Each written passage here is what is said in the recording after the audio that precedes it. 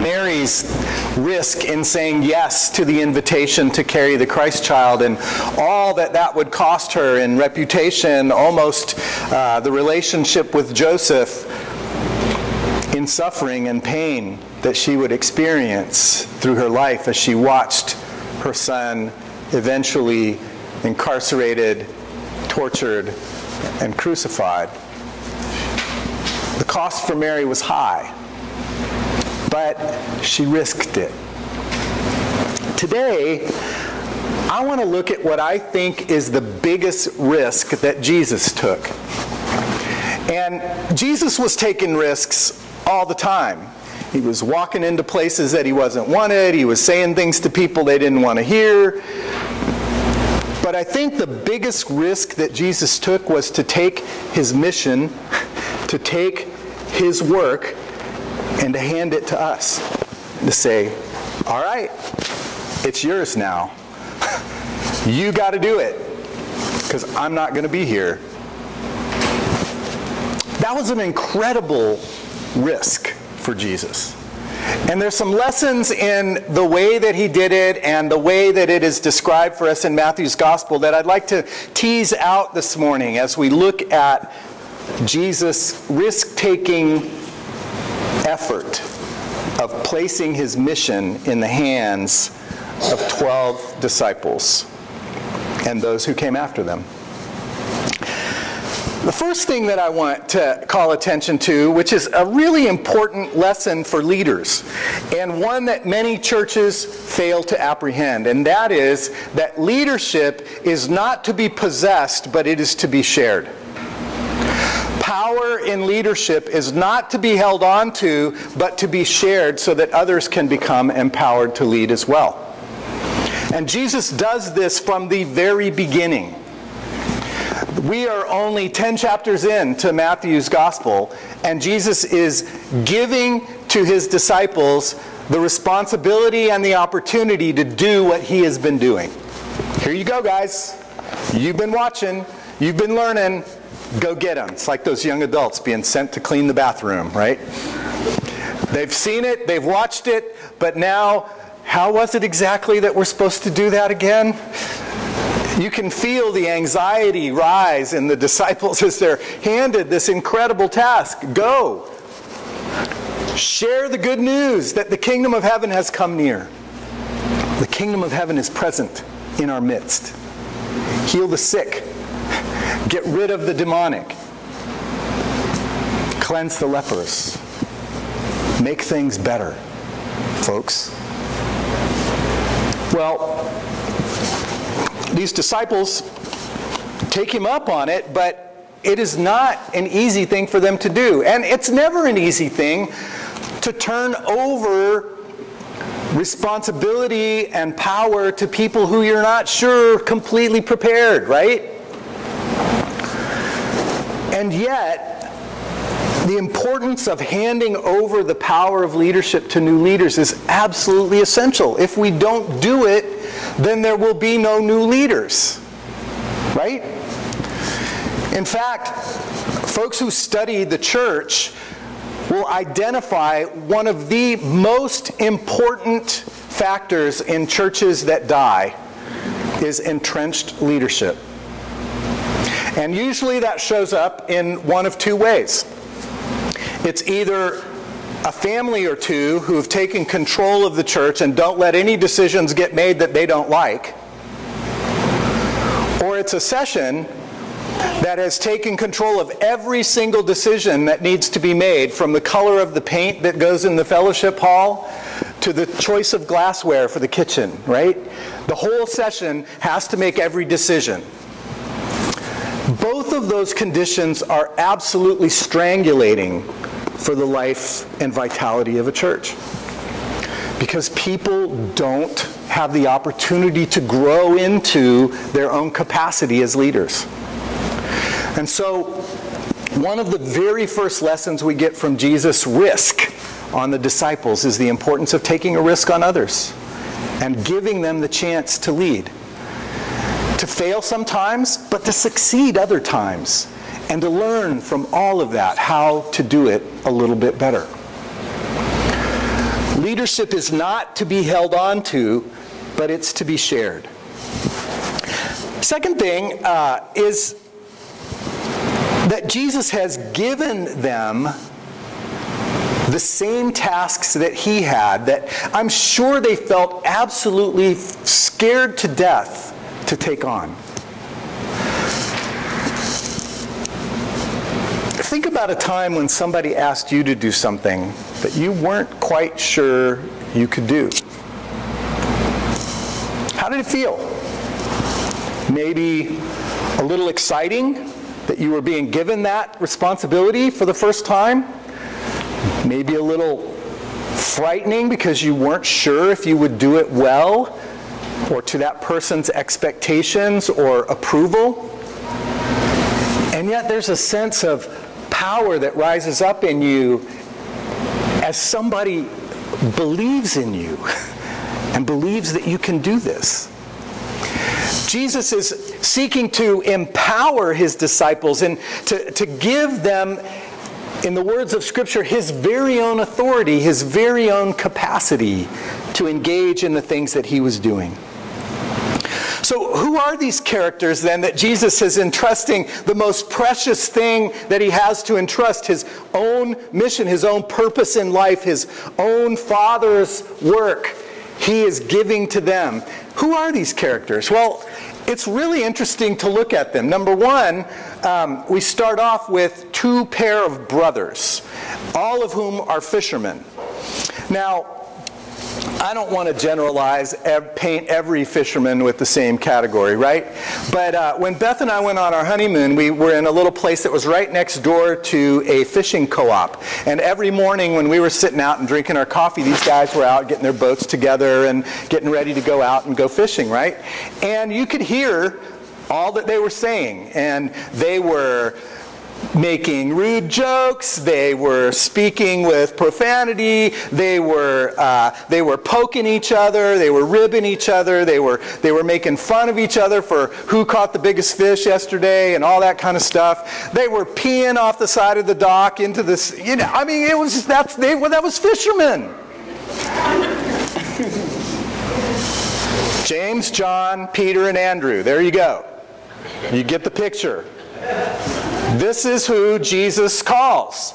And it's not just that they're fishermen, but that they're brothers too. Now, how many of us can say we've got really wonderful relationships with all our siblings?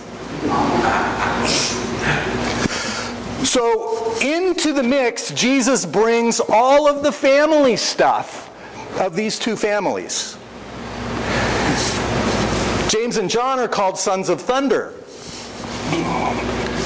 you can only imagine what that might be about, but at least we know one little piece, and that is that they thought they were special, more special than all the rest of them.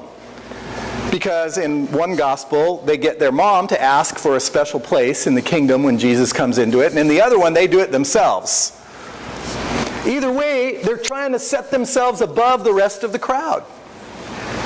Jesus is dealing with power dynamics, with people who want more power, with people who want more privilege.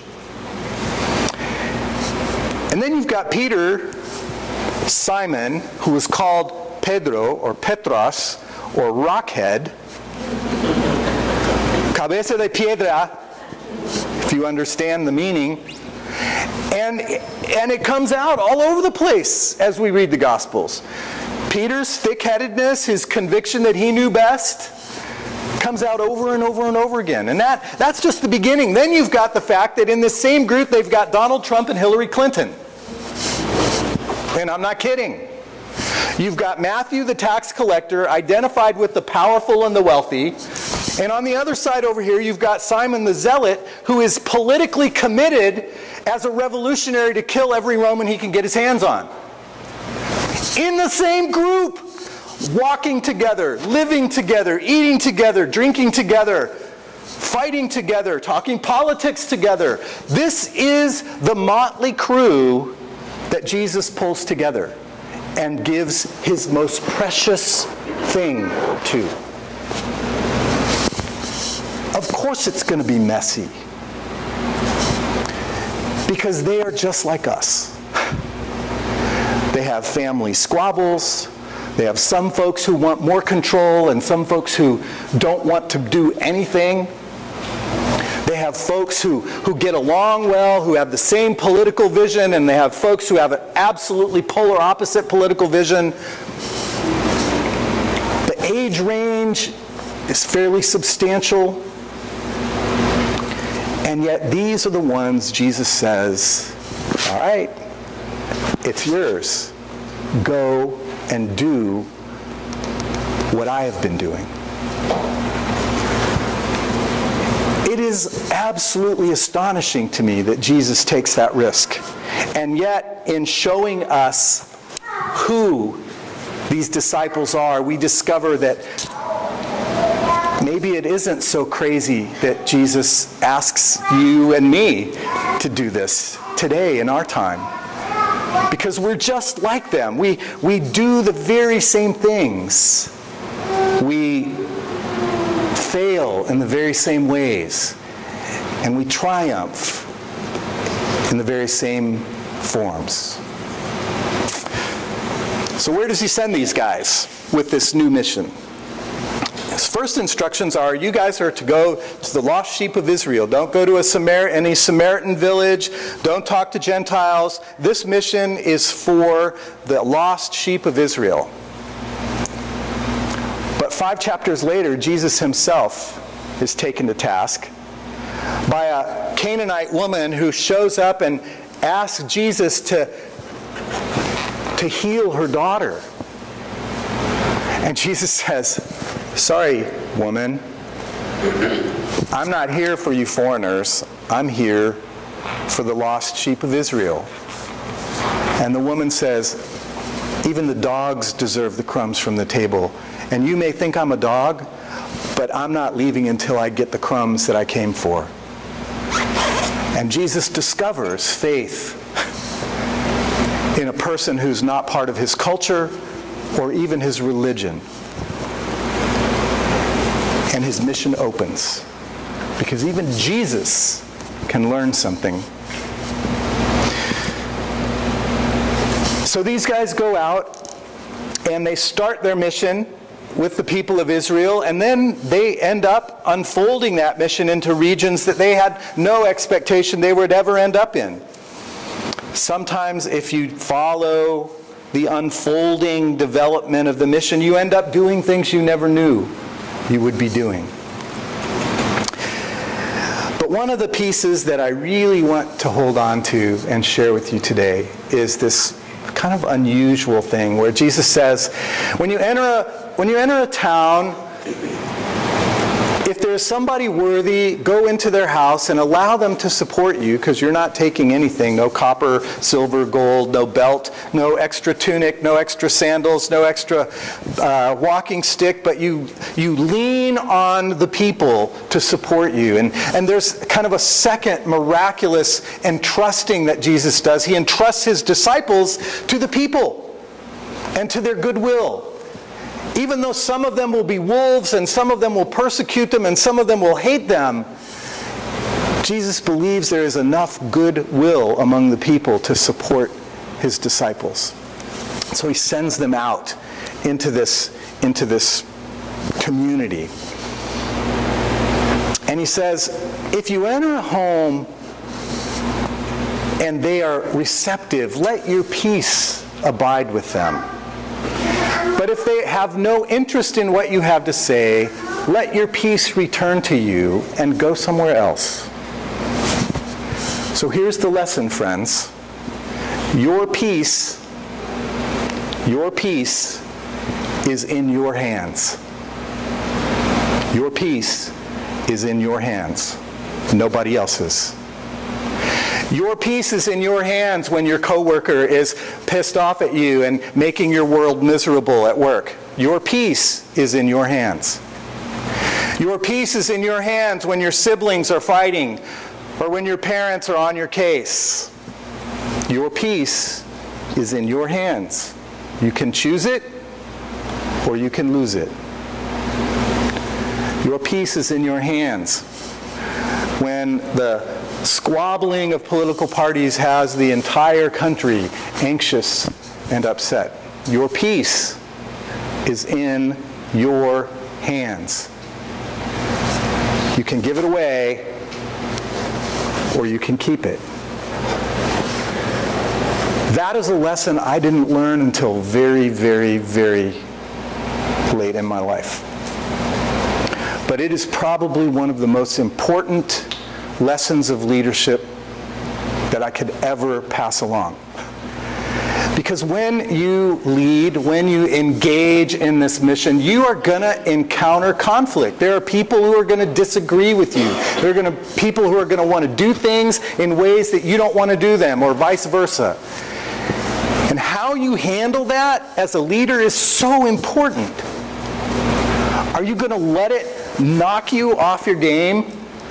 Or are you going to be able to find your peace at the center no matter what the storm is that is raging in the workplace, in the family, in the street, in the neighborhood, in the country. So, just a few little lessons from Jesus entrusting of this mission to the disciples.